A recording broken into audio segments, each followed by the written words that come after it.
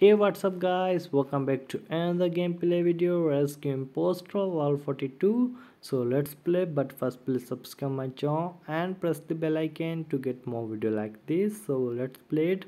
So here's the air vent. So we just travel through the air vent. So let's travel it. So just save this pin here and go to air vent.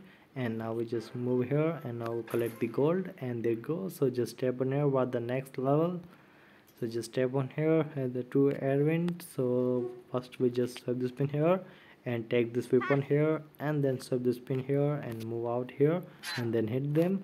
And there goes. So level is complete. So just tap on about the next level. Level 44 has the laser and this is two air vent. What we do? So first of all just set this pin here and take it this weapon from here and then serve this pin here and then serve this one and hit them and serve now here. And will collect the gold box and there goes so level is complete. So thank you for watching my video. Press the like button if you enjoy it and see you next time. Bye